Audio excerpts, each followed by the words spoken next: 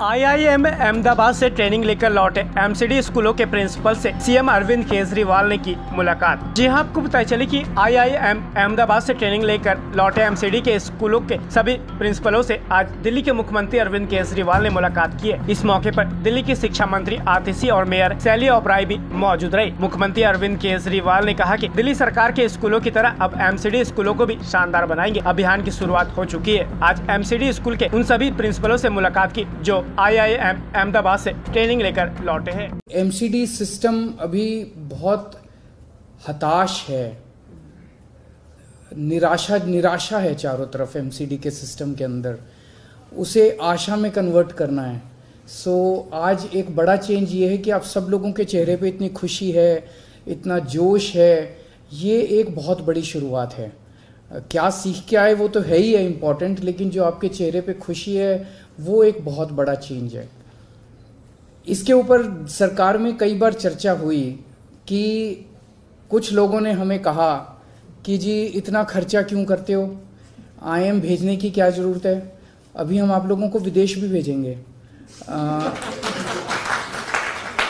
दिल्ली सरकार के जो प्रिंसिपल्स हैं उन लोगों को हम लंदन भेजते हैं उन लोगों को हम सिंगापुर भेजते हैं उन लोगों को हम फिनलैंड भेजते हैं। फिनलैंड में फिनलैंड का एजुकेशन सिस्टम दुनिया का बेस्ट माना जाता है। सो हम चाहते हैं कि आप लोग देश दुनिया का बेस्ट सिस्टम देख के आएँ और दिल्ली के सिस्टम को भी दुनिया का बेस्ट बनाना है अपने को। देश का बेस्ट देश का तो बना ही लेंगे।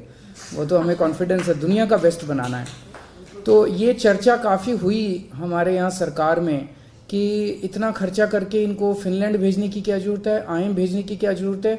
आईएम के दो प्रोफेसर्स को यहीं बुला लो, यहीं दे देंगे। दोनों में फ़र्क है। है कि नहीं है? ज़मीन आसमान का फ़र्क है।